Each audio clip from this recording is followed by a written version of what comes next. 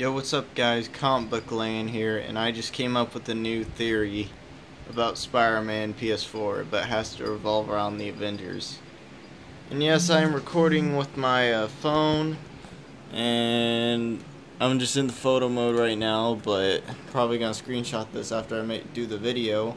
But my theory is, is that what if the next game that comes out, because I think Insomniac did confirm that they're making a universe out of this, so it's kind of like gaming's Iron Man, this game.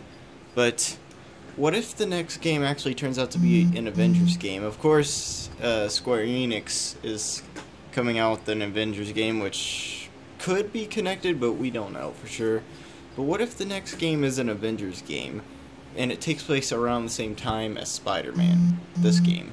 So, you know, because spoilers, um, you don't actually see him in the game, and also there's the Doctor Strange building, but you don't actually see him in the game either. So what if there's a game where it takes place around the same time, and you're where they're at, fighting whoever, and after that, the next uh, Spider-Man game comes out, Spider-Man like two, pretty much.